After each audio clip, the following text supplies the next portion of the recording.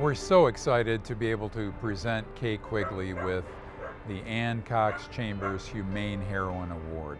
With her impact that she's had on our animal welfare work, we're very, very excited about having the opportunity to recognize her for her many, many years of contributions to our work.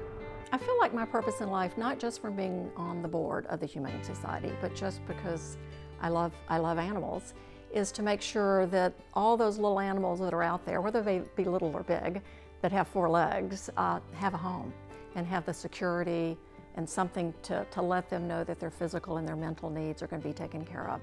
And that's why I'm holding this Miss Lucy here. Um, she is the sixth Yorkie that we've had, first female. She is also referred to as the precious perfect pumpkin within the household. when I think of Kay Quigley, I think of the word ebullience, the abundance of love she has every day for her husband Ron, little Lucy, her family, her fellow associates at Atlanta Fine Homes Sotheby's. Everyone has the same feeling when they're around Kay, and that's one of just pure joy. Receiving the Anne Cox Chambers Humane Heroine Award has been just really, really special. I love the Atlanta Humane Society.